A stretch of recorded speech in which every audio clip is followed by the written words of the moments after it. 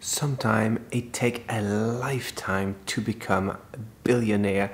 You have to marry a celebrity to finally someone recognize you are a fantastic artist.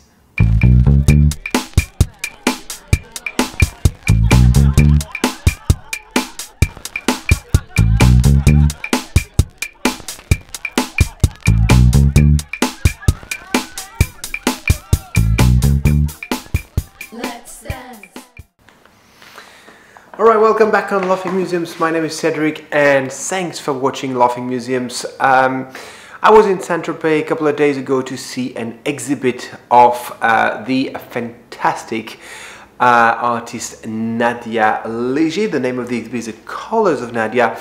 Um, I wanted to see this one because first I didn't know the work of Nadia Léger. I heard about her really when I was studying the poetry of Elsa Triolet, which was the uh, uh, love of the life of Aragon. Aragon is also a writer will, um, which produced a fantastic book on uh, so everything is kind of linked and a little bit linked here on the Riviera where I am in Nice because uh, that fantastic uh, Nadia, and I forgot her original name, uh, Kodosiewicz from Belarus is, and also uh, hi to my friend from uh, Belarus, um, is um, spent the, life, uh, the, the late years of her life right here in the Var. Um, so the next uh, ne- next door.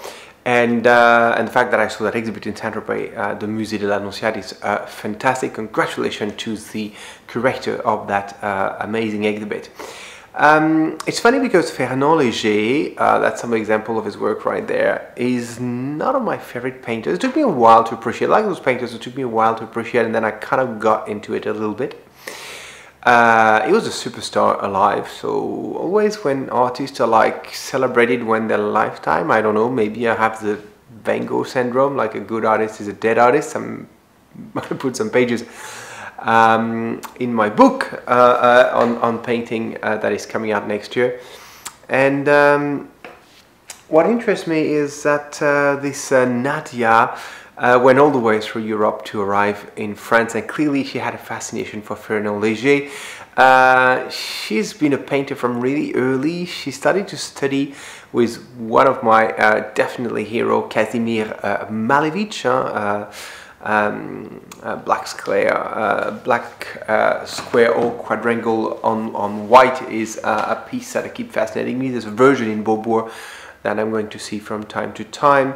So she studied what we call a suprematism, um, and um, you know that, that, that I, I don't even know where to begin. I mean, the life of that girl is just mind blowing, right? Students of Malevich, she became a communist, so she really engaged for the cause for uh, her entire life from 33 to 80 to 50 years of being engaged for a community, fully supported.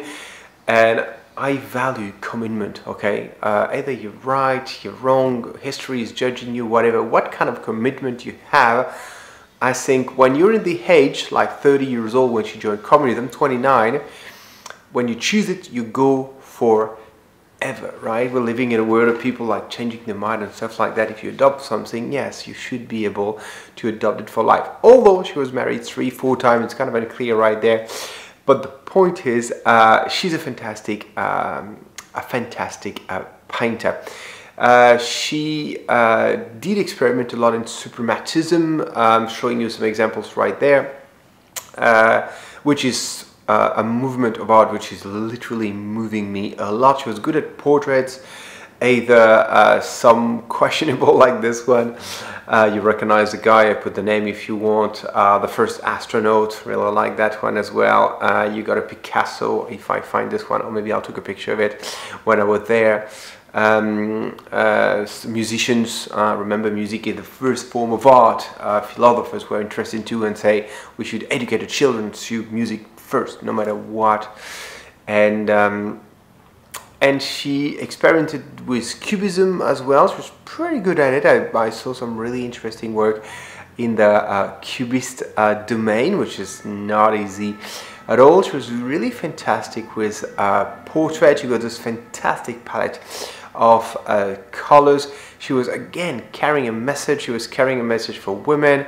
She was really having this uh, uh, uh part of the Eastern Europe, uh, Western Russia, whatever you call it, which is um, absolutely unique way of dressing yourself, like with a very strict kind of hairdo and self-portraits are, are, telling a lot about uh, people. And uh, uh, when Fernand died in 55, she became like a billionaire. And what she did, she didn't use it to like increase her own career. She really paid homage to her husband and open museum to his name. And so really, um, even if she had like a complicated uh, love life, which no one is here to judge how complicated love life can be. I think she also had like a very complicated uh, life as an artist and especially a female artist and that's what I'm making a point on Nadia Léger uh, today. Why? Because um, so she went through two wars, right?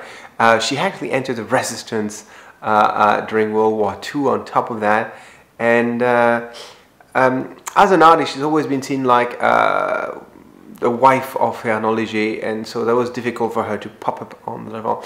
And there's this um, uh, journalist who wrote an article in 71. The title was Why Are There No Great Female Artists, right? I love that article. Uh, from um, the American historian Linda Nochlin, art historian Linda Nochlin. I love that um, article because it's really, uh, of course, it's ironic title. Um, it is really questioning the fact that um, um, how can I say that? The fact that the gender was really an issue and that the entire history of fine art was made by men was decided by men and really there was a will to exclude women from that domain which is fine. Art yesterday I was giving a, lot, a, a, conference and I was saying during that conference that um, even in Lascaux, in the origin of cave art, we now make more studies proving that the, the, the, the hands that they blow the pigment on were probably made hand by women or children, but the angle of the arm is also probably proving that the art, the negative of positive hand, was actually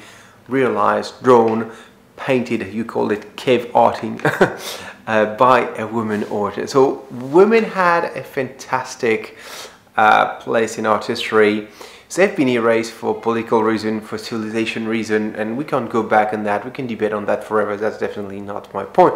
My point is, um, uh, and the, the, the, example of Camille Claudel or Frida Kahlo are coming up. And today, uh, Frida Kahlo is kind of a, a, superstar. You can see girls every time there's an exhibit uh, uh um, of uh, women empowering stuff like that. There's always some Frida Kahlo representation somewhere, and I think that's fantastic. Even though I'm not a huge fan of Frida Kahlo, still growing on me. Maybe one day I'm gonna be really into into her stuff, but. Um, um, so that's why Nadia is kind of a, a fantastic uh, uh, example of a late success, um, but still a beginning of a recognition and proving that still today the international scene uh, is um, it's still uh, um, very complex when it came to gender and uh, there's still a lot that is going on right now. I know friends of mine working for um, to empower women in in in, in uh, art scenes such as uh, the movie business or literature or poetry or music or stuff like that, right? And I think it's fantastic. I hope maybe one day we're going to arrive at a non-gender kind of uh, art and that will not be something to even discuss about because uh, what will be the point about that? So massive discovery uh, with uh, Nadia Léger. Uh, go check it out and no matter what you do, don't forget if you're not doing it with a smile, well, you're doing it wrong.